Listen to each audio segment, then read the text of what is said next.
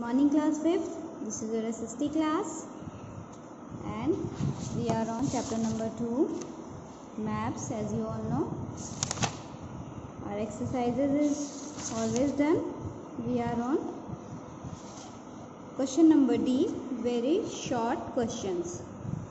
This is a question number D very short questions and I write your answers in my copy. Your question number one is what is an atlas? And answer number one a book or a collection of maps is called an atlas. Okay. Question number two how do maps express information? Answer number two maps express information through lines, colors, shapes and other symbols.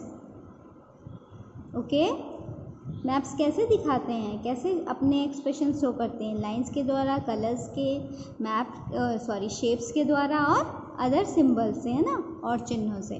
Okay question number three is which type of maps meteorologist use to show weather forecast?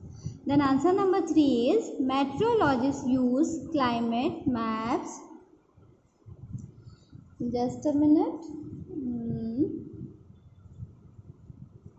weather forecast no meteorologists use climate maps to show weather forecast कौन सा वाला climate वाला map वो लोग use करते हैं weather का forecast दिखाने के लिए and question number four is what do you mean by topographic maps.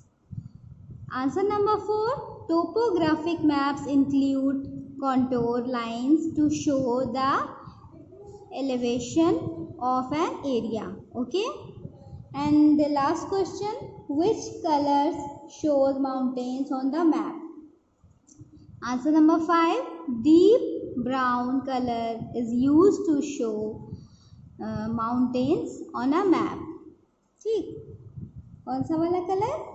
Deep brown colour is use to shows this is shows right here S also W के बाद एस बी लिख लीजिए okay shows mountains है on a map this is your very short answers okay look at this class fifth chapter two very short answers okay find out the question from the book good bye class